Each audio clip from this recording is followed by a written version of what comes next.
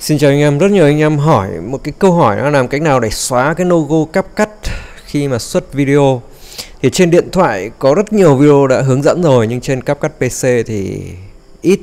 Vậy thì ờ, hôm nay tôi sẽ hướng dẫn anh em cách chúng ta xuất video mà nó không có cái logo cắp cắt, không cái watermark nữa. Để làm việc điều đó thì hình như đầu tiên là anh em phải đăng nhập vào tài khoản. Đăng nhập tài khoản thì có thể dùng tài khoản TikTok cũng được. Và chỗ chọn export nó rất đơn giản thôi ở đây nó có một cái chữ này, remover watermark em không tích vào cái dòng này thì sẽ hiện cái logo cắp cắt ở đây. Còn nếu em tích vào đây thì sẽ xóa cái logo đi. Thế thôi.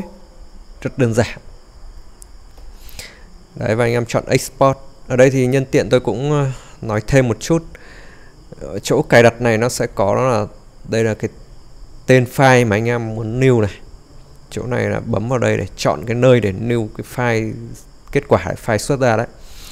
Resolution thì anh em có thể chọn uh, thường thông dụng up lên YouTube thì tôi thường hay chọn 1080p 4K với 2K thì nó cũng hơi thừa. Vì những cái video của tôi là video hướng dẫn nó cũng không không không ờ, đòi hỏi chất lượng hình ảnh chuyên nghiệp lắm quan trọng là nội dung hướng dẫn thôi đúng không? Bitrate thì ở đây bitrate là cái ờ, đại để là cái tốc độ bitrate càng cao thì dung lượng file càng lớn.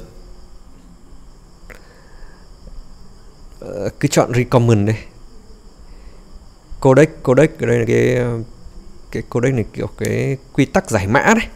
Ta chọn H264 thì nhiều phần mềm nó hỗ trợ, điện thoại hỗ trợ, còn HEVC cái này nó nén tốt hơn.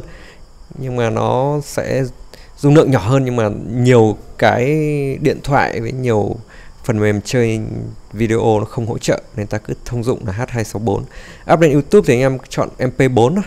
MOV thường không phổ thông lắm. Chuyển lên YouTube muốn xuất bản nhanh thì thằng YouTube lại chuyển về MP4 mà. Nên nếu mà để MP4 sẵn rồi thì video của anh em sẽ sớm được được được xuất bản. Còn nếu không nó sẽ phải phải chuyển đổi đó. Frame rate thì ở đây anh em chọn 30 tôi cứ để mặc định 30 thôi. Còn ví dụ anh em mà làm video quay hành động, những video đua xe tốc độ cao, hành động nhanh thì anh em mới chọn frame rate nó cao để cho nó mượt mà. Còn tôi thì video của tôi nó chậm chậm thôi, không có gì chuyển động nhanh nữa. Nên tôi chọn 30 là thường. Còn không có thể chọn 25 hoặc 24 là được rồi. Cover, cái cover này thì with down hoặc là with cover tức là nó sẽ chèn thêm cái đoạn cover là cái gì? Đây anh em nhìn này, phía trước video nó sẽ có một cái cái cái clip ngắn ngắn là cái cover của video đó. Anh em có thể tạo ra đây. Bấm vào đây và chọn cái ảnh ảnh từ video của anh em thôi. Chọn một cái frame nào đó trong video hoặc là chọn no cờ và anh em tải cái ảnh mong muốn lên. Đấy. Sau đó chọn các cái phong cách phù hợp. Chọn complete. Anh em muốn sửa thì anh em bấm vào hình cái bút còn muốn xóa thì bấm vào dấu x này xóa cái cover này đi. Đấy, ở đây nó vẫn có một cái cái khung trống để dành cho cover nhưng mà nếu mà lúc anh em xuất thì anh có thể chọn nó là nó. Ở đây nó không có nên nó không cho phép là có chọn cover hay không.